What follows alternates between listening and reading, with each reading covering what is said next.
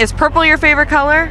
Yes, but Oh. blue first. Blue first? Yes. You look so royal in that.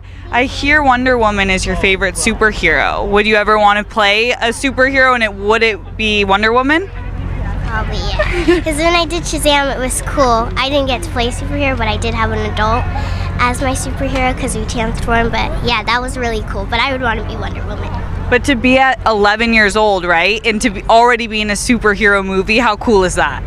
Really cool. I'm thankful for that. And our very own Shazam is hosting tonight. Are you excited to see him? Yes.